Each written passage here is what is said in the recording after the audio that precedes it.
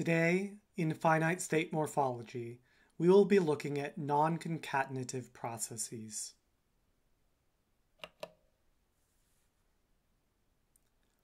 Most of the content that we have covered previously in this course has covered concatenative forms of morphology, processes of word formation that involve concatenation. Concatenative descriptions are, are usually helpful for a large set of languages and a large set of phenomenon. However, there are languages where there are non-concatenative processes at play.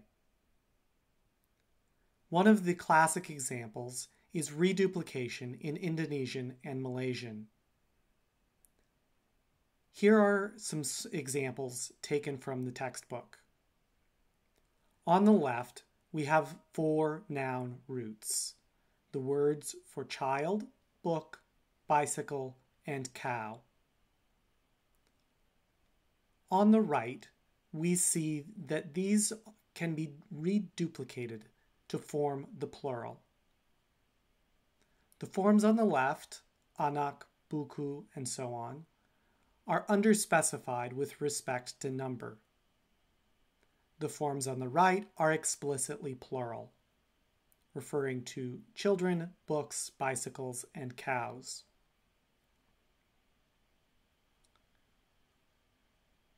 In the next lecture, we will be covering how to actually model this process, reduplication, using XFST. Today, we'll be looking at a small example that will prepare us for that use case.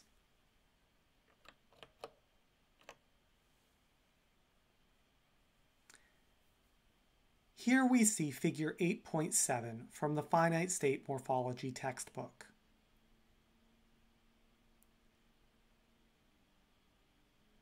This figure is what we are going to be following through in this lecture. In this figure, we see a trivial finite state machine. The first arc on the upper side has epsilon, here represented as zero. On the lower side of the first arc, we have a multi-character symbol that is a caret followed by an opening square bracket.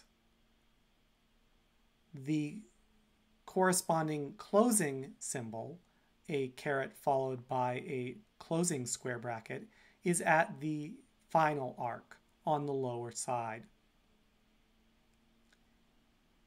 In the middle, we have A and star. The XFST toolkit has a special mechanism to handle non-concatenative morphology.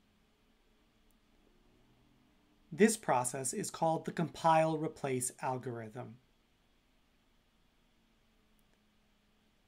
The compile replace algorithm takes as its input a finite state machine.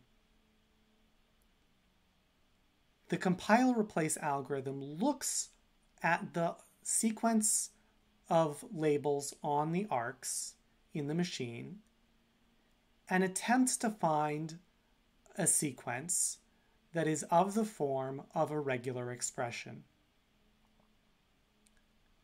Importantly, the compile replace algorithm will only compile a regular expression that it finds if that regular expression is found between the delimiters shown here, the caret open square bracket and caret lower er, closing square bracket.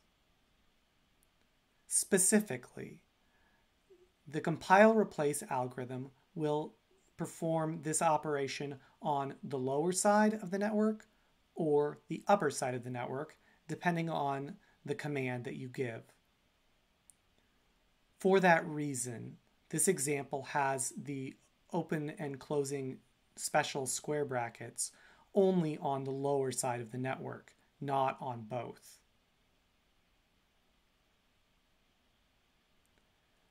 Let's fire up XFST and see how this works in practice.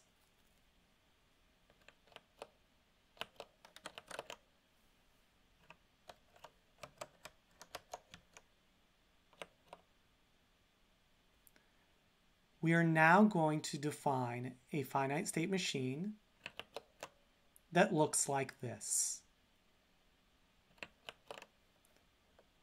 We will define a regular expression consisting of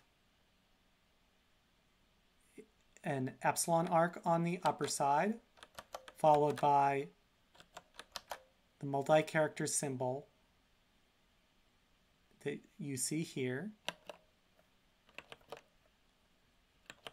On the next arc, we will have an A on the upper and lower sides.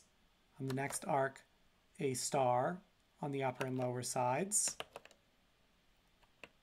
And finally, the last arc, epsilon on the upper side with the special symbol on the lower side.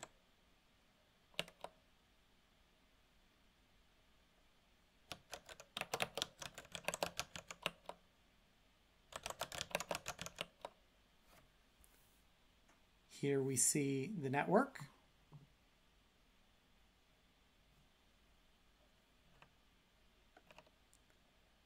We can now run the compile replace algorithm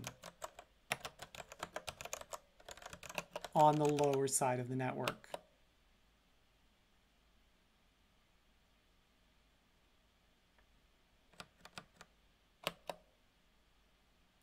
The network has changed. At this point, the upper side of the network represents the regular expression A star. The lower side of the network represents the actual compiled out value of A star, literally zero or more A's. We can validate this by typing in a lower side string. Every lower side string consisting of zero or more A's will map on the upper side to A star.